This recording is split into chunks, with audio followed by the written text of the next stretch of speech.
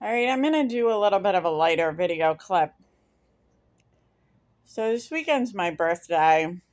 Saturday is my birthday, July 16th. Hopefully, my asshole will be feeling better by then. But, um, yeah, so my parents might come out Sunday and we might go out to lunch or something. And it's like, we kind of left it up in the air, you know, because my father had his little episode the other day, so we'll see. And I'm kind of in this thing where I'm like, part of me would want to go just because I don't get out much, but part of me is like, I hate people, and I don't know if the restaurant people are going to try to torment me in some way. So we'll see. So I've been getting these emails. I get these emails sometimes from Browns they have a location in Hoosick Falls and they have a location in Troy.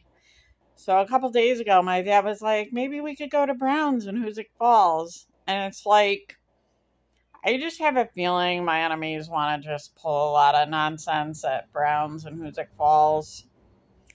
And then on top of that, I've been getting these emails lately where they talk about their menu at Browns. And I got one today, and it's like, I'm not kidding every fucking thing that it talked about in the email was fucking fish, some kind of fucking seafood.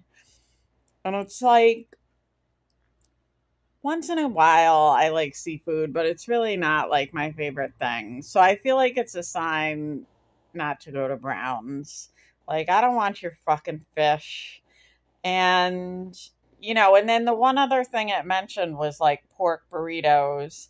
I don't eat pigs either. You know what I mean? It's like, I don't want your fucking fish and I don't want your fucking pig.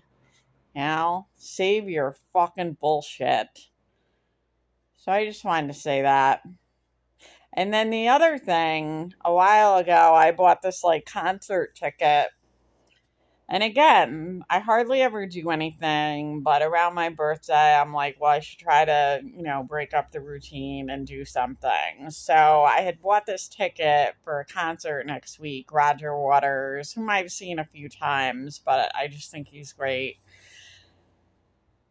And it's the same thing where half of me is like, well, I want to go, but half of me is like, I hate people and there's probably going to be some kind of nonsense and maybe they won't even let me in because I've got this fucking electronic ticket and my phone will be like on the fritz or something and it's just like this is how I am. Like half of me is like, well, I want to have more of a life. I want to get out more, do things. But half of me is like all that's gonna suck anyway. It's all gonna fucking suck anyway. So it's like the good thing about it is it's like whether I go or not, whether I go to lunch, whether I go to this concert or not, part of me would be relieved. Like there's a part of me that would be relieved. Like, oh, I guess I'm not going.